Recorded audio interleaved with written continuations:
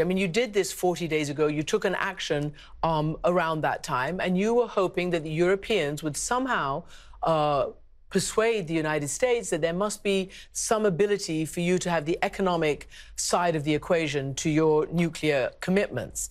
Um, that hasn't happened. The United States, if anything, is more determined to squeeze Iran economically. The Europeans have not been able to. Just there, your atomic energy spokesman saying this 20 day threat to uh, increase stockpiles and the level of enrichment is to hopefully get Europe to do something about it.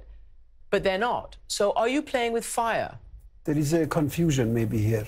We announced 40 days ago that if, uh, in fact, uh, we have uh, we have decided to suspend two of the measures uh, designed in the JCPOA. We are not committed anymore to the level designed by the JCPOA. But we said that we give you 60 days if you rectify the problems and you would, uh, uh, in fact, implement your commitments Iran can roll back, in fact, these suspensions. So, but the fact is that they're that they're not. The Europeans have not been able to. Do you know something no. that I don't know? And the Americans continue to ratchet up their pressure. What you have just done mm. has been met with the following response from the United States: that the plans to exceed these internationally agreed curbs amounts to nuclear blackmail and must be met with increased international pressure. That is from the White House today. So my question is: Are you playing with fire here? Because you know where they stand, and you know where the Saudi Arabians stand and where the UAE stands. They want to squeeze you, and it looks like you are playing into their hands. These policies by the others are not new policies. We have mentioned that we have an agreement, which is the JCPOA. Otherwise, uh, either we would implement this agreement in full, all parties are committed to their obligations, uh, or we would uh, facing with a partial agreement. If you agree that there is a partial agreement, Iran is, is in fact entitled to suspend some of the measures until the situation is clear.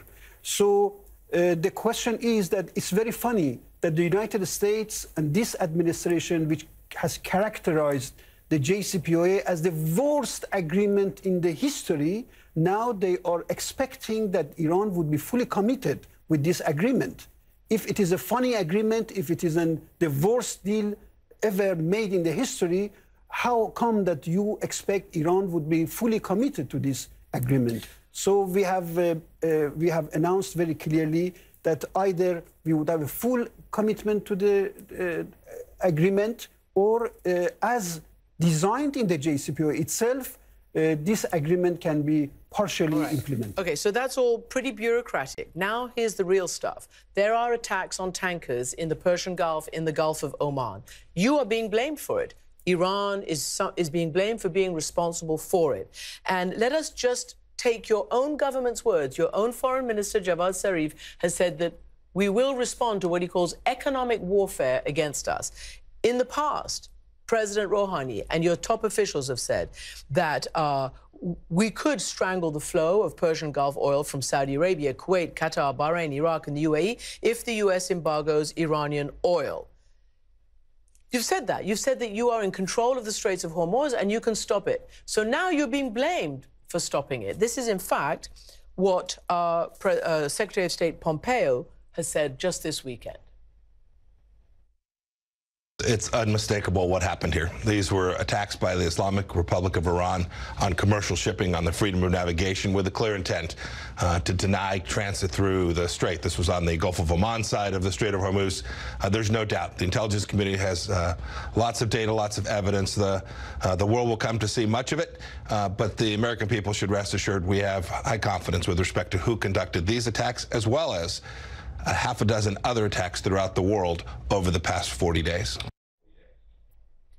So what do you say to that? I have two points. First of all, is that they are misusing the uh, statements made before by our president and the foreign minister. We said that if Iran would not be allowed to export oil from the Persian Gulf, we would take measures to ensure that other countries also cannot uh, do the same. But we are not at that stage yet. No, but you're getting to that stage because they're if, trying to sanction all your oil exports.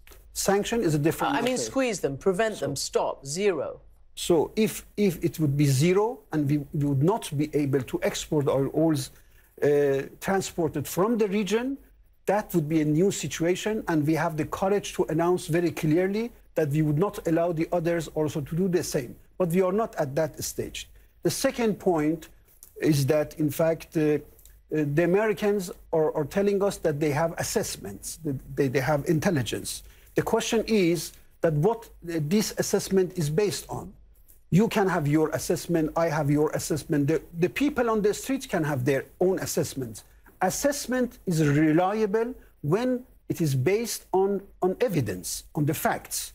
We have not been facing with any kind of uh, evidences or facts till now, and we would be delighted as the experts, international experts, have called for the United States that they would show and they would, uh, in fact, publish the complete footage of what they have before the incident, after the incident, and not really to publish only a distorted. So you're talking about this this this uh, video that we're going to play right now, exactly. which President Trump publicly spoke about, saying that of sure. course it's about, of course it's you. Um, basically, this is this boat is meant to be your military, your navy, going to collect an unexploded mine of some sort on that boat and and then to dash off with it. Now, you deny it. They say it's you. Answer me this question, Ambassador. Your defense secretary on the Supreme Council with Ayatollah Khamenei, Ali Shamkhani, says, we are in charge of security in the Persian Gulf and around the Straits of Hormuz. We can maintain security. If that's the case, who is doing this? We, we are living in our region. This is part of our country, the state of Hormuz, and we are, in fact, uh, entitled to keep the security of, of this part of the, of the world. But you know that there are so many ships coming and going through this, uh, uh, in fact, this uh, part of the world.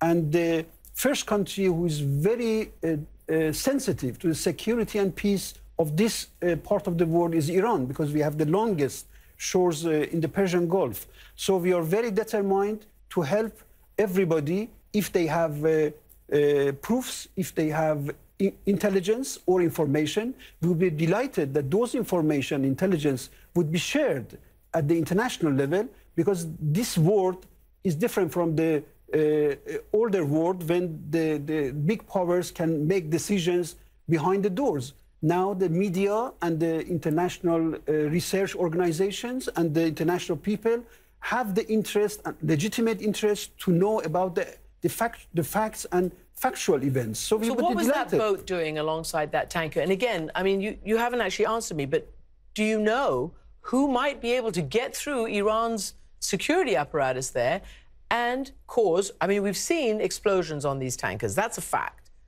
Who could be doing it? I don't know. We should see who are the interests, who have the interest to disrupt the security in the region. You know that there are uh, countries in the region and beyond the region who have invested heavily billions of billions of dollars to trap the United States into a conflict with Iran, a military conflict with Iran.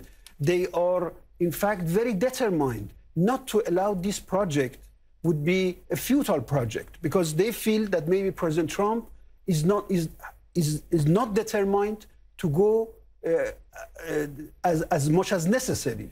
Maybe he, he doesn't want to go into a war. So there are elements in the region and beyond that, in fact, they would uh, create a situation that United States would be dragged so, into a. And, and you're talking about what your foreign minister calls the B team: Bolton, Bin Salman, Bibi Netanyahu. That's what you're saying now, right? That is a very real scenario that we are facing. So here now is what a very influential Republican senator says, Tom Cotton, about the consequences of all of this. Yes.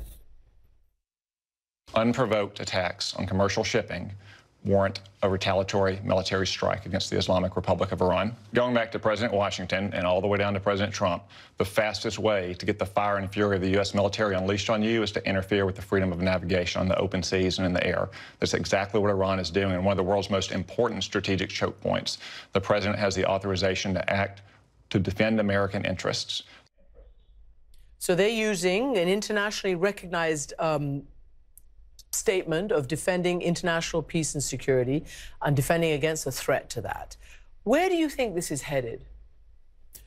Uh, unfortunately, we are heading towards a confrontation, which is very serious for everybody in the region. You believe a, a military confrontation? I don't know a military or maybe. I mean, Cotton also military. said, yes, partial. Cotton also said that potentially strike, limited strike on a, on a, on a target in the Persian Gulf. I don't know about the strategy of the US on this, but I am sure that this is a scenario that some people are very forcefully working on it, that they would drag the United States into a confrontation.